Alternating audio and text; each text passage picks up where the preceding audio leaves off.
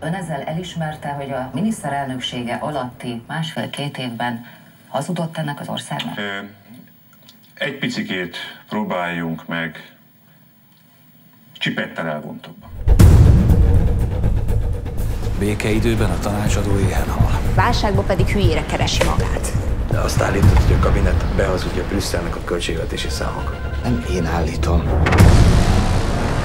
A bal oldalon látsz, a kormány támogatottsága, ami a sajtónak kiment. Ez pedig a valódi, amit nemrég mértünk.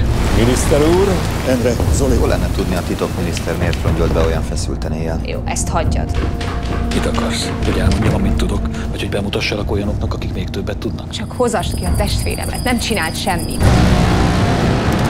Tudod, hogy bízhatsz benne. Tudod, hogy bízom, de ez most nem erről szól.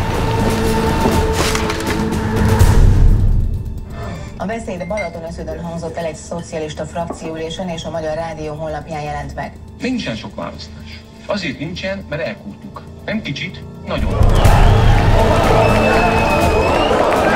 Ne fúrd meg életem sztoriát. Jó, azt mondanám, hogy engem is érdekel, hogy volt ez a szivárogtatás, akkor hogy csinálnánk?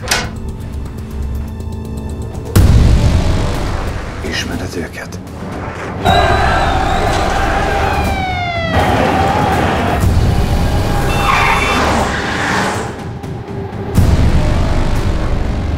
Ebben az országban csak úgy lehet bármit is elérni, ha ott vagy velük a tárgyalóban.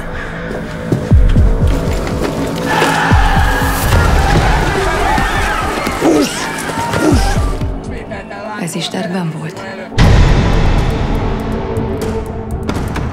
A Fidesz nagygyűléssel kapcsolatban telefonálok. Bomba fog robbanni.